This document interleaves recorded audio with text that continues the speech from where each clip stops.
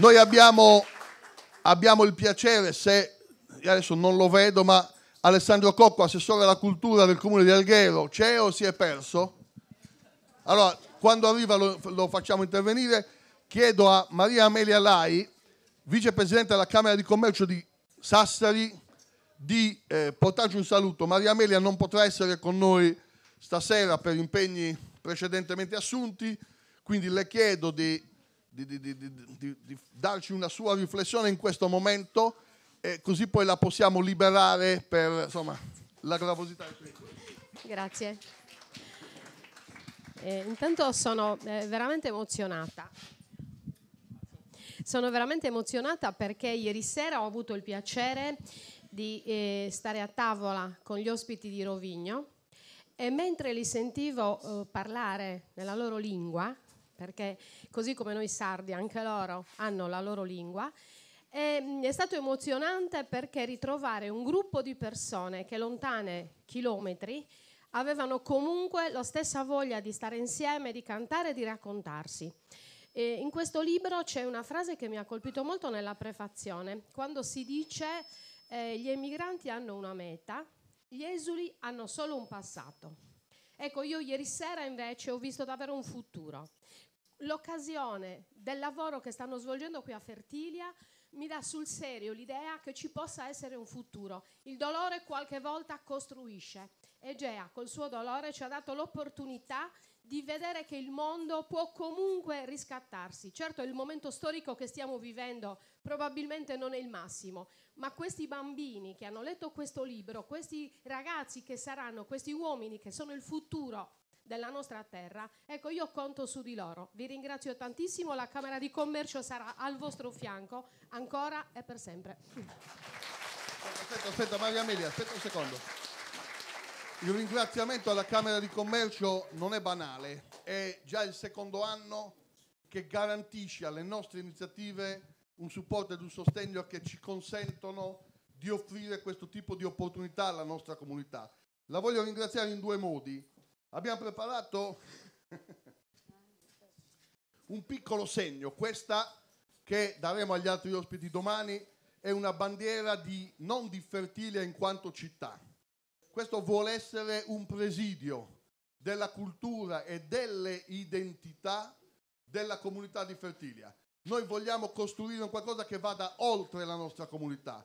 Questa deve diventare la casa di chiunque si senta portatore dei valori della resilienza, dell'integrazione, dell'inclusione e chiunque si adoperi e lavori per costruire un futuro migliore. Abbiamo preparato una cosa simbolica che concedo adesso a Maria Amelia, un passaporto di Fertilia città dell'inclusione.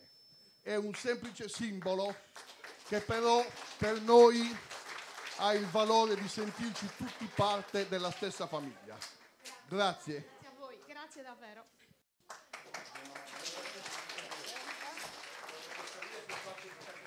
Alessandro, ti chiedo di, un, di dare un breve saluto Alessandro Cocco, assessore alla cultura del Comune di Alghero. Il Comune di Alghero e la Fondazione Alghero insieme ci hanno consentito di svolgere questo evento a Fertilia. Se abbiamo potuto noleggiare questa tensostruttura e organizzare un evento al centro, nel cuore pulsante della nostra comunità, è grazie a loro. Grazie Mauro, no, è veramente grazie a voi che abbiamo l'opportunità di ricordare una storia, ricordare una storia di tante persone, di un territorio e di un territorio che ha davvero tanto da raccontare e tanto da, da insegnarci. Eh, il supporto dell'amministrazione, il supporto di tutte le sue strutture, eh, di tutti i settori era fondamentale, doveva essere garantito per forza di cose, per l'importanza di un, di un evento come questo che vede tanti partner e tanti ospiti arrivare dall'Italia, da tutta l'Italia, dall'estero anche.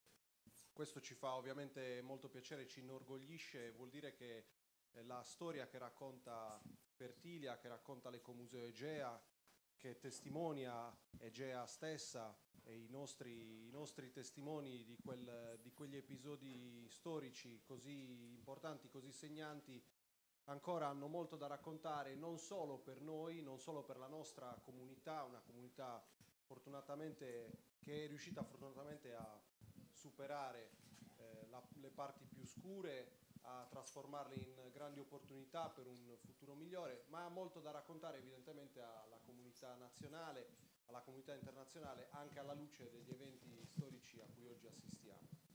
Questo è sicuramente poi un uh, evento importante, lo abbiamo detto anche l'altro giorno durante la conferenza stampa, perché dimostra la, la vitalità della comunità che si impegna tutta insieme per realizzare delle cose. Da questo punto di vista, un, scusatemi, da questo punto di vista è sicuramente importante è sicuramente importante sottolineare lo sforzo non solo dell'Ecomuseo Egea, dell'Associazione Egea, ma anche del Comitato di Quartiere, del CCN, del Centro Commerciale Naturale, del Comitato Festeggiamenti 25 Aprile San Marco. Tutti insieme hanno dimostrato di saper costruire, ed è Legis, esatto, hanno dimostrato di saper costruire un appuntamento che è molto importante anche per la promozione del nostro territorio, con un attrattore culturale che fa parte nostro, dei nostri principali attrattori che noi eh, vogliamo e teniamo a mostrare ai, a chi visita questa città. Ho la fortuna di avere la, la, possibilità di occuparmi di cultura e turismo in una città come Alghero, quindi che voglio dire, da questi, da, sotto questi due punti di vista non potrebbe offrire di meglio e, e, sicuramente l'esperienza che si vive grazie al museo oggi, aperto ormai già da più di un anno, è veramente, veramente fondamentale per la formazione anche dei, delle prossime generazioni e la partecipazione delle scuole da questo punto di vista da davvero davvero un ottimo auspicio sull'iniziativa. Perciò grazie a voi per tutto quello che fate e per la possibilità che ci date a noi di imparare una storia fondamentale. Grazie. Grazie Alessandro. Io eh, saluto anche davanti a voi, poi interverranno nel pomeriggio, sono stati così gentili da lasciare spazio alle autrici e ai ragazzi. Eh, David Modusan, vice sindaco della città di Rovigno, una presenza importantissima assieme agli amici del museo, dell'Ecomuseo della Batana. Abbiamo Rodolfo Ziberna, sindaco di Gorizia, Gorizia capitale europea della cultura 2025, quindi un esempio grandissimo assieme a Nuova Gorizia di superamento delle divisioni, e Piero Mauro Zanin, presidente del Consiglio regionale del Friuli Venezia Giulia. Mauro, io oggi vesto la cravatta donata da te e la spillina in segno di amicizia nei confronti della Venezia Giulia. Ma adesso per non portare via tempo eh, dico solo due parole su questo libro.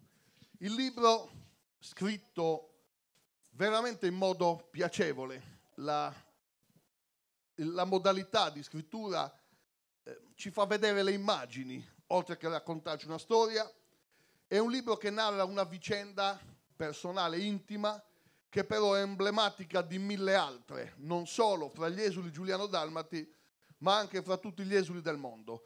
Quindi a noi è piaciuto in questo contesto chiedere la cortesia alle autrici Ege Hafner e Gigliola Alvisi di portarci questo contributo, perché vogliamo che queste storie, queste vicende, soprattutto con i venti di guerra che spirano alle porte dell'Europa, siano eh, momento di riflessione. Io non porto più via tempo alle autrici, do la parola dapprima a Gigliola Alvisi che introdurrà un pochettino quella che è la giornata di oggi.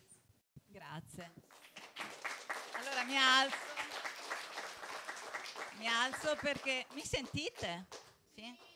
Mi alzo perché così guardo in faccia tutti i ragazzi. Allora, Grazie intanto dell'invito, grazie al museo, grazie alle autorità, grazie a tutte le persone che sono intervenute qui stamattina dedicandoci del tempo e un grazie particolare per me che sono un'autrice per ragazzi, a tutti i ragazzi e agli insegnanti che sono qui. Quindi davvero un saluto particolarissimo a ognuno di voi ragazzi e ragazze. Allora, E io sono un'autrice per ragazzi, questo faccio di lavoro, scrivo per ragazzi e a un certo punto, ormai quasi un paio d'anni fa, mi ha mm, contattato la casa editrice PM con cui scrivo spesso eh, chiedendomi eh, di scrivere la testimonianza eh, di un esule. Perché lo chiedono a me? E non a un altro autore, perché io avevo già scritto delle biografie romanzate, quindi avevo già creato dei romanzi per raccontare la storia di alcune persone, quindi pensano che io sia la persona adatta. Io di esuli non so assolutamente niente e quindi ne parlo in casa dicendo, boh, che faccio? Accetto, non accetto? E mio marito mi dice, lascia stare, lascia stare che questo è un argomento cui, su cui tutti litigano, e la destra e la sinistra, ieri e oggi, sopra e sotto, ma qui non ne veniamo fuori. Qui se tu scrivi questo libro avremo la gente fuori di casa che ci picchetta. Dico, ma perché mai un libro per ragazzi dovrebbe suscitare delle divisioni? E mio marito insiste, lascia stare, lascia stare. E allora ragazzi, quando qualcuno vi dice di lasciare stare,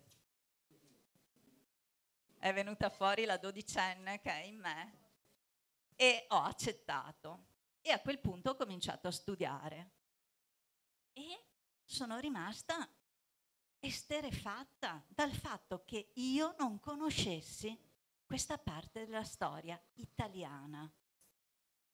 Eppure avevo scritto tante storie fino a quel momento. Dov'era finito questo pezzo di storia? Che non c'era nei libri di storia, che non c'era nella conoscenza comune, nella cultura comune. Dov'era finito? Chi l'aveva nascosto? Comincio a studiare, studio, studio, studio, e più studio e più si aprono finestre e mondi da studiare. E finalmente arriva il momento di contattare Egea. Nella mia testa, questa signora quasi ottantenne era una signora anziana, un po' svanita, un po' esitante, che si ricordava ma non così bene. E quindi mi armo di pazienza e dico, vabbè dai, telefoniamo. E mi trovo questo portento della natura, molto più giovane di me, infatti si vede dai capelli, no? Chi è più giovane? Che ascolta la mia richiesta e non dice come mi ero immaginata io, sì, perché insomma è eh, come dire, mh, mm, insomma, c'è questa cosa, uno scrive un libro su di te no, e ti senti emozionato. No, no, mi dice aspetta un attimo che mi documento. Non dice neanche no, dice aspetta che mi documento. Mi fa parlare col marito, con Giovanni, e si documentano, nel senso che controllano il mio profilo Facebook per vedere chi ero, cosa facevo, chi era mio marito, cosa faceva, così. E me lo fanno anche sapere, cioè mi dicono abbiamo visto le foto che pubblica tuo marito, che era un modo per dire guarda che ti stiamo controllando.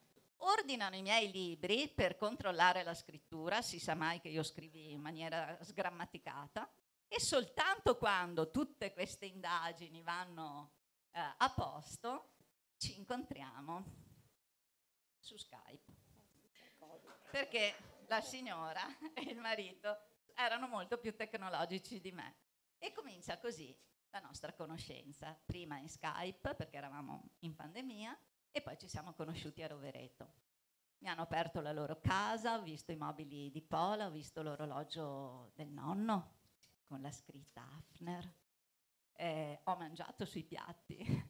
Di Pola mi ha cucinato delle cose buonissime uh, di Pola e possiamo dire che siamo amiche, vero? sì. Ehm, allora, ehm, le, i libri per ragazzi hanno delle regole, tre fondamentali. Una è che bisogna raccontare una storia nuova, che non è mai stata raccontata prima, e questa è una storia nuova. Non era mai stata raccontata prima ai ragazzi, era stata raccontata agli adulti poco, sempre in modo schierato, ma ai bambini, ai ragazzi mai. Le storie per ragazzi devono parlare di coraggio e dentro le storie degli esuli c'è tanto coraggio e devono parlare di scelte e dentro le storie degli esuli ci sono tante scelte, anche quella, soprattutto quella di essere felici malgrado quello che è successo e Fertilia credo sia veramente un esempio di come si possa cercare di essere felici malgrado un passato doloroso. E voi ragazzi di Fertilia siete fortunati perché per i racconti dei vostri genitori e dei vostri nonni questa storia la sapete già. Tutti gli altri ragazzi d'Italia cascano un po' dalle nuvole e non la sanno e siccome conoscere una cosa ci rende liberi di capire, di scegliere, voi siete più fortunati degli altri. E, ehm, cedo subito la parola a Egea perché io sono solo la penna, ma lei è la voce e quindi lascio a lei la parola. Grazie mille.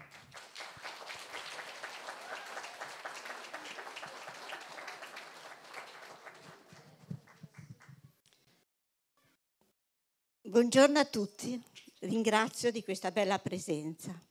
Allora mi presento, sono eh, Egea Hafner, la famosa bambina con la valigia, diventata icona del nostro esodo istriano-dalmata. Questa foto, questa, che ho anche donato, ho donato l'originale all'Ecomuseo Egea, e, ehm, è stata scattata il 6 luglio del 1946 a Pola, davanti alla Villa Rodinis, dove abitavano i miei nonni eh, paterni. Era stata fatta per lasciare un ricordo alla mia famiglia paterna. Chi faceva foto davanti all'arena di Pola e chi, come i miei, vicino al portone di casa. Dopo pochi giorni avrei lasciato Pola per andare con la mamma a Cagliari da una sua, da una sua sorella, la zia Lina. Dietro questa, questa foto c'è una tragedia non solo della famiglia Hafner e Camenaro, ma di un intero popolo costretto all'esilio. Ecco, io vorrei, vorrei dire che con, con, la, con, questo libro, con la bambina, con la valigia, intendo divulgare il mio viaggio tra i ricordi di, di esuli ai tempi delle foibe e portare la verità nelle scuole, affinché i giovani sappiano delle violenze subite senza averne alcuna colpa. Adesso non so se volete che io continui a raccontare la mia storia oppure lascio la parola ai ragazzi che vogliono chiedermi, hanno letto il libro, alcune cose, io sono, sono disponibile, ecco, penso che dopo posso anche ricominciare a dire qualcos'altro. Va bene, ringrazio tutti e spero... Grazie a te Gea.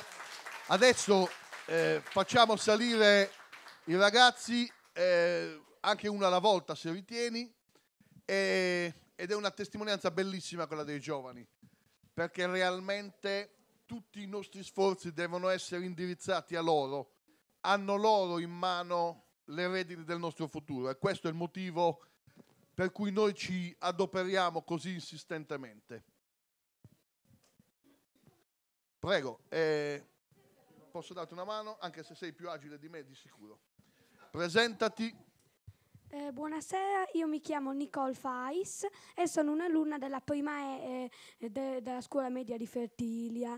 Eh, ho scritto eh, questa piccola riflessione sul libro eh, che ci ha letto la nostra professoressa di italiano eh, e mi piacerebbe leggervela. Eh, buongiorno a tutti, questa lettera rappresenta tutta la classe prima E della scuola media di Fertilia. Noi alunni abbiamo sempre avuto curiosità per la storia di Fertilia e siamo felici oggi di incontrare Gea Hafner e Gigliola Alvisi nella presentazione del libro La bambina con la valigia, dato che così sapremo di più sulla singolare storia di Fertilia e approfondiremo su quel poco che sappiamo. E Gea è decisamente una donna forte, se pensiamo alla sua infanzia. Ha perso il padre a quattro anni e neanche cinque ha dovuto abbandonare la sua adorata terra, Pola. Ma ha acceso un'importante fiammella, la fiammella del ricordo. La sua strada era buia, ma lei con la luce della fiamma dei suoi ricordi si è illuminata la via e ha trovato la serenità. La fiamma che ha acceso non si deve spegnere mai, perché non si spenga bisogna alimentarla con i racconti e con i ricordi degli altri esuli, di chi ha sentito i suoi racconti, dei suoi parenti, che potranno tam- tramandare tutte queste cose nel tempo, a figli, amici e nipoti e figli, eh, figli l'ho già detto. Ed ogni racconto la fiamma crescerà e ci illuminerà un po' di più. per ricordare. Grazie.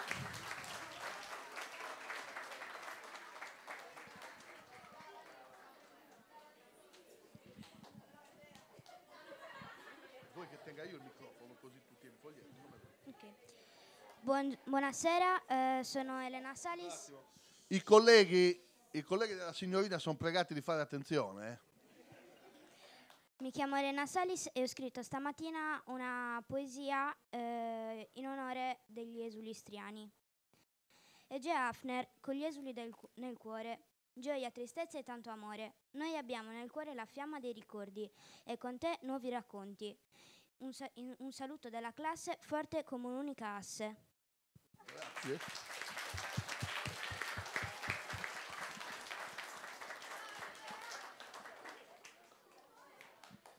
Adesso due per farsi forza perché la timidezza qua, eh? Vedete, vedete, la- è lo stesso, dai, occhio al filo. Allora, una legge e l'altra tiene il microfono, oppure facciamo, tengo io, va bene. Allora, buongiorno, mi chiamo vabbè, Beatrice Roberta. Ci chiamiamo Beatrice Roberta e frequentiamo la prima E eh, della scuola media di Fertilia. Aspetta. E oggi volevo raccontarvi la storia di mio nonno. Eh, mio nonno si chiama Giulio Marongiu, cognome sardo ma nato a Pola, in Istria, che sarebbe l'attuale Croazia. È nato il 13 agosto 1938 e ora ha 84 anni. La sua storia da esule istriano inizia quando lui aveva solo 9 anni. Di notte lui e la sua famiglia si imbarcarono su una nave, su una nave di nome Toscana diretta a Venezia. Quando arrivati vennero messi in una caserma di nome Nazario Sauro. Dormirono lì per 3-4 giorni e la caserma era molto affollata. Una mattina sentono delle voci, delle persone parlare. Era Don Francesco che spiegava a diverse persone che era andato in Sardegna a vedere un posto stupendo chiamato Fertilia. Chi volesse andare alzò la mano. Questo era il 1947.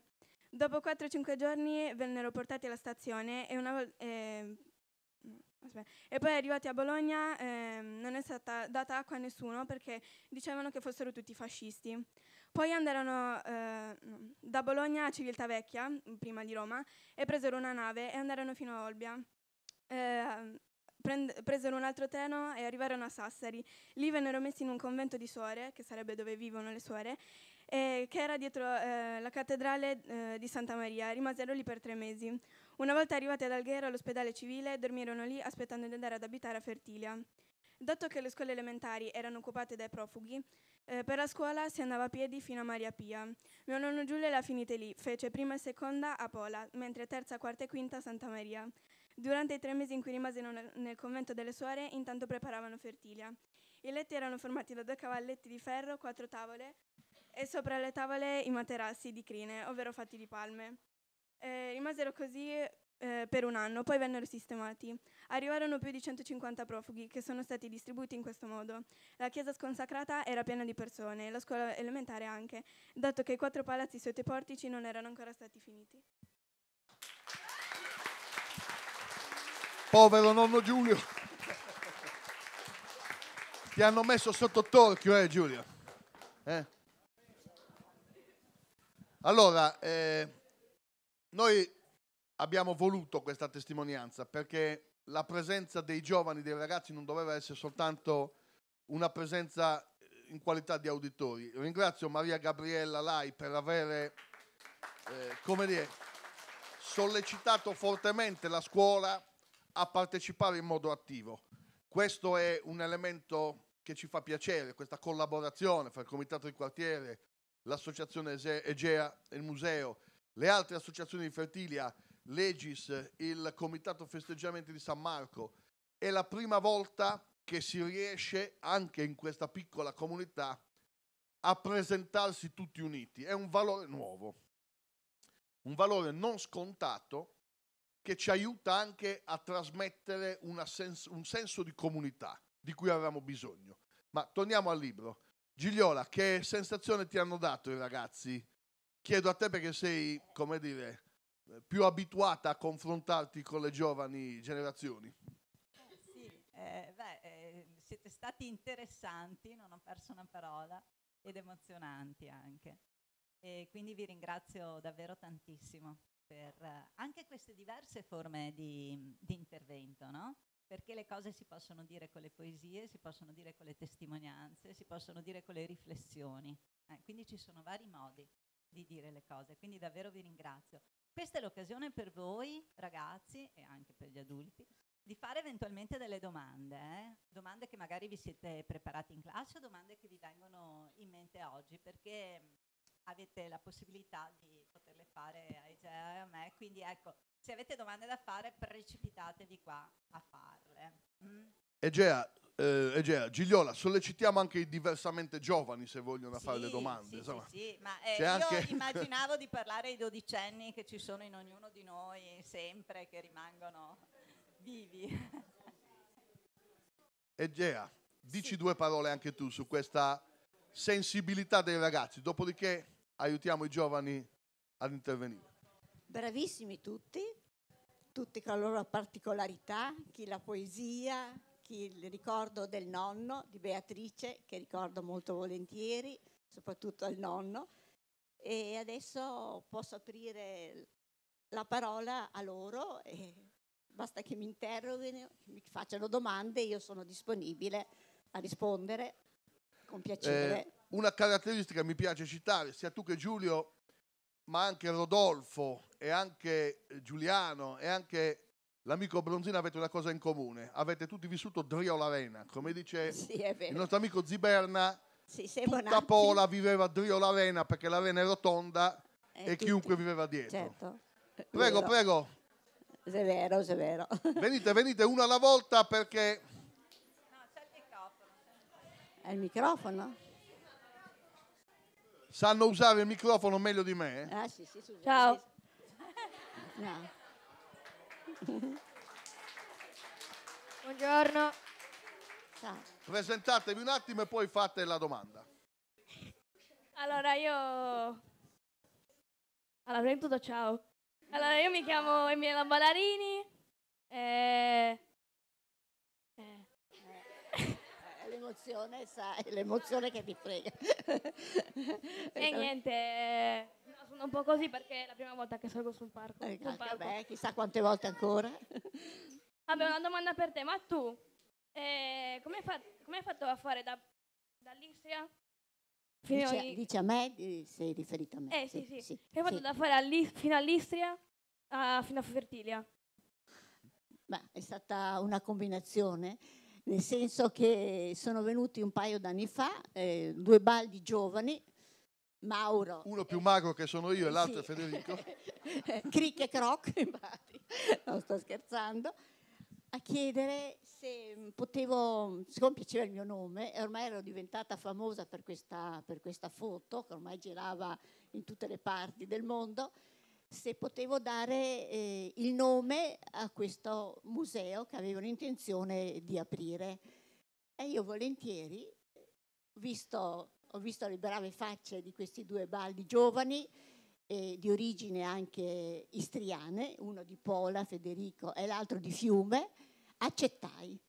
Ecco, e così cominciò il nostro, diciamo, il nostro pensiero, le nostre emozioni si, si, si- si trovavano, insomma. Ecco.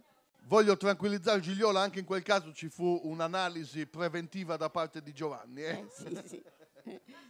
Ma poi anche, no? Eh, ma quella notte come facevate? Come? Egea. Egea non è venuta dall'Istria direttamente a Fertilia.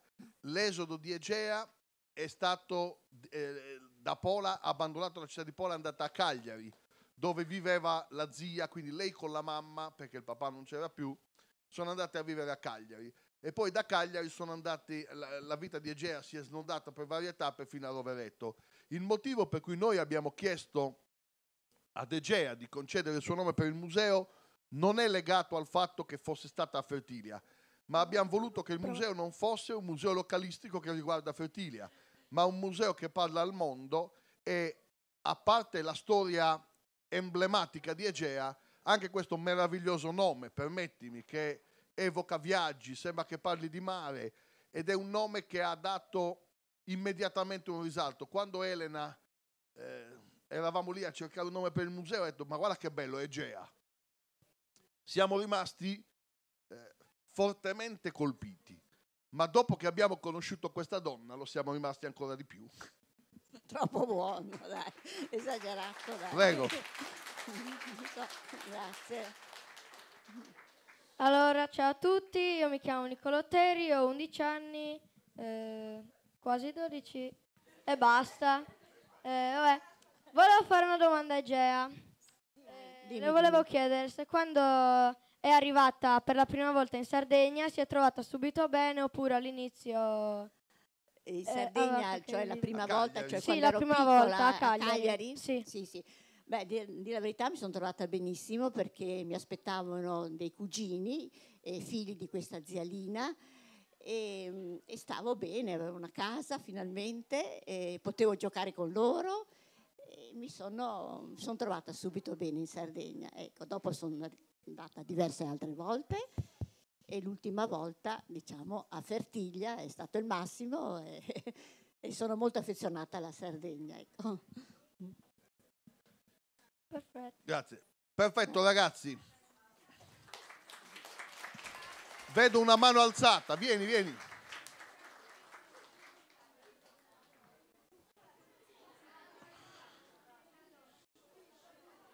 Qua c'è poca timidezza, eh. mi fa piacere questa disinvoltura dei giovani. Prego.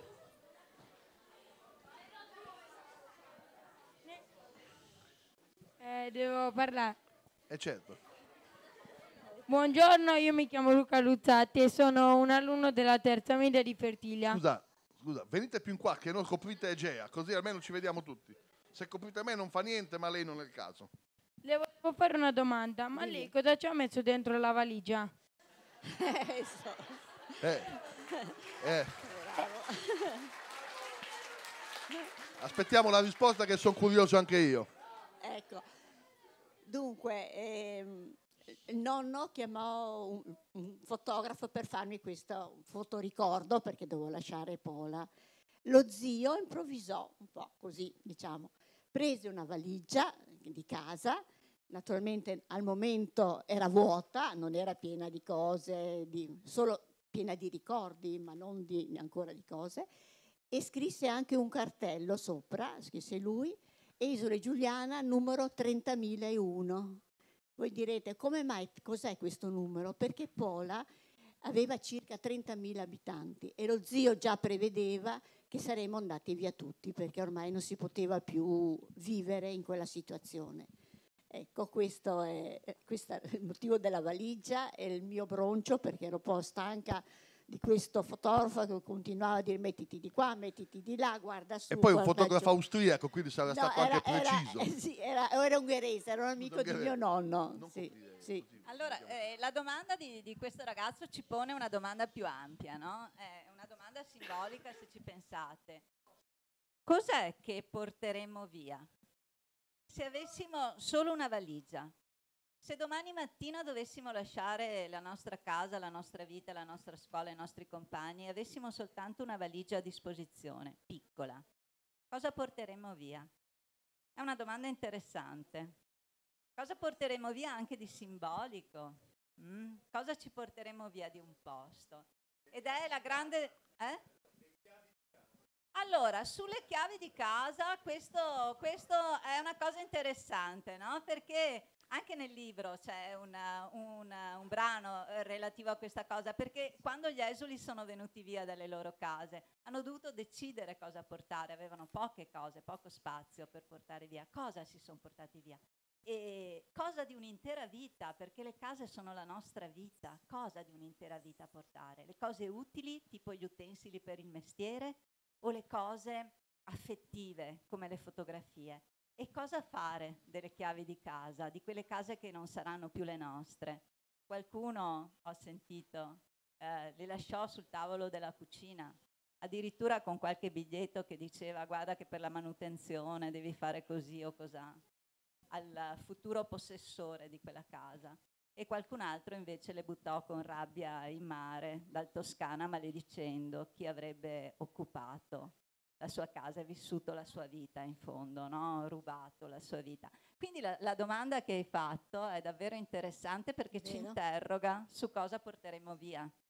nella nostra Bravo. vita. Ma i ragazzi hanno una capacità di sintesi e di incisività che difficilmente gli adulti riescono a manifestare. Stare. Prego. È vero, bravissimo. Hai colpito il segno giusto, bravo, bravo, complimenti. Allora, signorina, prego, presentati. Buongiorno a tutti. Scusa un attimo, eh. chiedo ai ragazzi di contenere l'impeto. Siete giovani, avete grande entusiasmo, ma non si sente niente. Quindi vi chiedo e vi prego, tanto finiamo a breve, un pochino di silenzio ancora. Buongiorno a tutti, mi chiamo Rosanna Balzani e ho 13 anni, oramai quasi 14. Volevo porre una domanda ad Egea, Dimmi una tutto. curiosità. Qual è l'emozione che lei ha provato quando ha lasciato la sua casa e ha dovuto proprio cambiare la, sua- la sua- la propria vita? Che emozione ha provato lei? Beh, quando ero piccola così, non- sì, un po' di emozione senz'altro l'avrei avuta, però i bambini non è che sentono chissà cosa. Pensano di affrontare un viaggio, pensano di trovare chissà cosa, novità, trovare altri cugini, giocare, perché questo è il periodo in cui un bambino cerca compagnia e purtroppo più in là si- arriveranno i ricordi, arriveranno le cose che ho passato lì. Ecco, e dopo, ecco, questo è tutto in pratica. Grazie, Egea. Prego. Ah, prego, alza un po' la voce e avvicina il microfono perché non si sente. Ok, sono Lorenzo Cocco, 13 anni e volevo chiedere Gea, ti è, ma- ti è mancata la tua terra natia? Devo dire di sì, soprattutto il mare, perché sono un tipo marino, anche il mio nome è Gea, proprio, proprio del mare. Ecco, e quando vedo il mare già mi, mi si riempie di gioia. Ecco, sono nata a Pola dove c'era il mare, quando sono venuta a Cagliari ho trovato di nuovo il mare e dopo invece mi sono trasferita in montagna per vari motivi, insomma, dove c'era la nonna che mi aspettava e dove ho vissuto lì, ho fatto le scuole lì e ho trovato il fidanzato lì, la mia vita è iniziata finalmente con un po' di gioia, le tragedie si stava scemando, diciamo. Ecco, questo è... Grazie, grazie tante Egea. E adesso io vi chiedo una cortesia. Noi abbiamo una sorpresa che ci ha voluto regalare il coro di Baraz. Quindi io vi chiederei le ultime due domande ai ragazzi per evitare che poi i tempi si allunghino troppo, perché eh, abbiamo il pomeriggio molto lungo e quindi c'è un po' l'esigenza. Io chiederei a quella ragazza in fondo con i capelli neri se può venire e poi selezioneremo uno di voi, solo uno, perché altrimenti non riusciamo più a chiudere.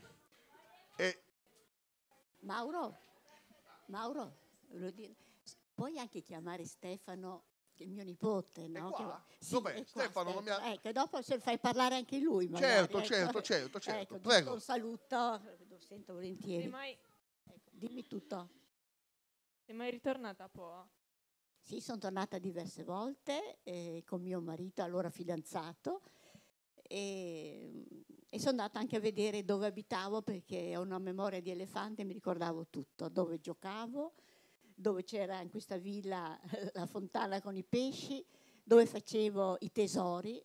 Ecco che i tesori erano delle cose un po' da bambini, dove si mettevano le carte stagnole, i fiori sopra un vetro, dopo si coprivano dopo qualche giorno si andavano a riscoprire.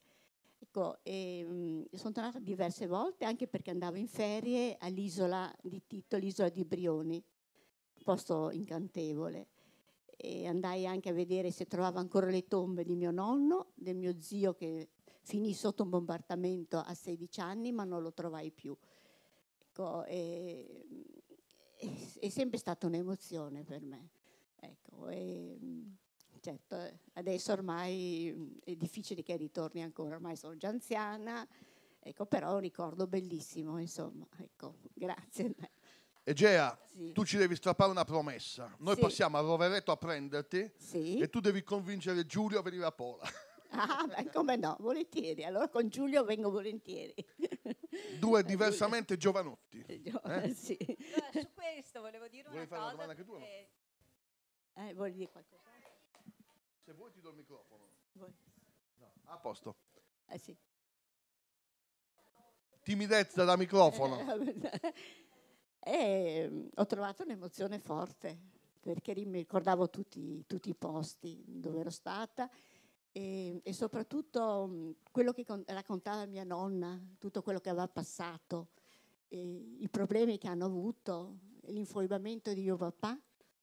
Andrai anche a vedere con mio marito e le mie figlie, che allora avevano 11 e 12 anni, il posto dove si supponeva che fosse stato gettato nella foiba, dicevano a Pisino. Era una giornata di, verso il 10 di agosto, una giornata grigia, che in genere è sempre bel tempo, anche in Istra in estate. E guardai sotto, ma non si vede niente, sono un gr- grande crepaccio e pensai che mio papà fosse rimasto lì. Ecco, grandi emozioni e commozione. Grazie Gea. Allora, proviamo a, proviamo a vedere una cosa. Eh, è possibile organizzare, viste le tante domande dei ragazzi, che non possiamo far fare magari lunedì mattina una visita a scuola di Egea e Gigliola? Cosa ne dite? Possiamo provarci? Così almeno avrete la possibilità di fare le domande ad Egea direttamente. Eh, Egea e Gigliola sono sicuramente disponibilissime e noi consentiremo ai ragazzi di avere questa esperienza che in questo momento non possiamo garantire. L'ultimo intervento chiamerei Stefano, il nipote di. Egea, la parte sarda della Eh sì, famiglia. dai, sì. Che sensazione fa avere una, una zia famosa? Che, che- che sensazione è? È una sensazione, eh, buongiorno a tutti innanzitutto, mi chiamo Stefano Cariello Musso e, e come già detto vengo da Cagliari. È stata, mi sentite? È stata una, eh, sì, sicuramente fa moltissimo piacere avere una zia famosa, però non è questa la cosa più importante per me, la cosa più importante è stata l'esperienza umana e familiare, la, la, mh, la capacità e anche e soprattutto la possibilità che ho avuto sin da piccolo di vivere eh, molte, molte estati a Rovereto da lei, sin da quando ero piccolo. Mi ricordo ancora, avevo 5, o 6 anni, insomma è stata la mia prima, eh, scusate, la mia prima esperienza all'estero ehm, in viaggio in aereo da solo e mi aspettavano appunto mia zia e mio zio. Eh, scusate.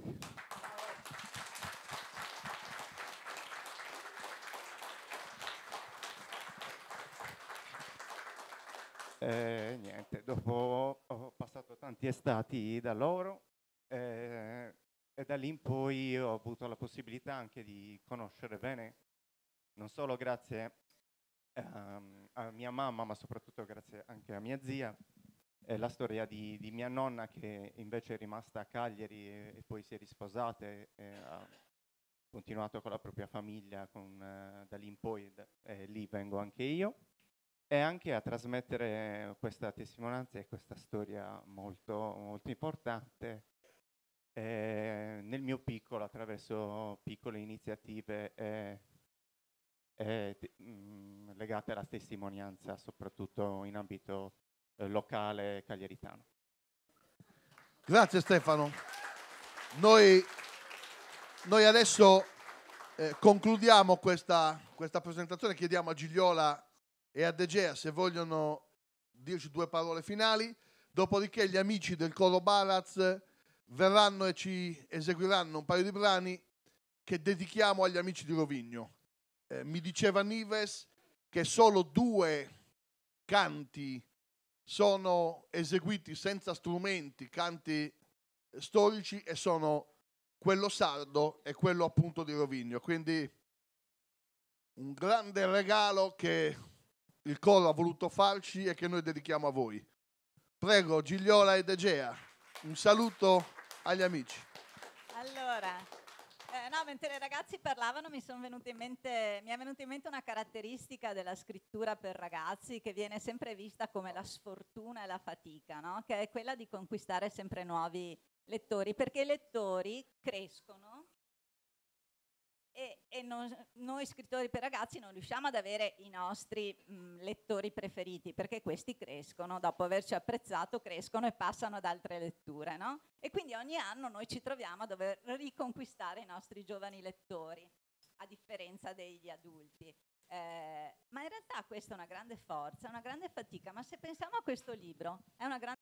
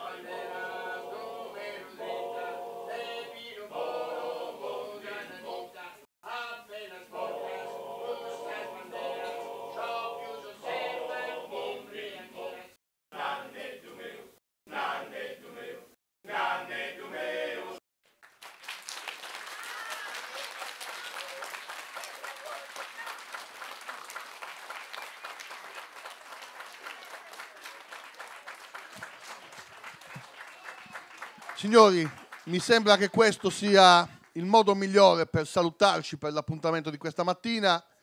Vi comunico che abbiamo organizzato un rinfresco al, al Coiba per, chi, per gli ospiti in particolare, ma per chi si volesse trattenere. E ringrazio particolarmente il coro di Baraz e ne approfitto per chiedere a quel povero martire che è l'assessore Alessandro Cocco di trasmettere all'amministrazione comunale l'esigenza di spazi perché anche il coro vorrebbe eh, trovare uno spazio a Fertilia nel quale eh, provare e noi potremmo una casa comune metterla volentieri a disposizione se ci fosse l'opportunità. Grazie a tutti e ci vediamo puntuali alle 4 meno 10, così per le 4 iniziamo l'evento del pomeriggio. La scaletta è molto lunga e prego tutti di essere puntuali così da non avere grossi ritardi. Grazie e un applauso di nuovo al coro di Baraz.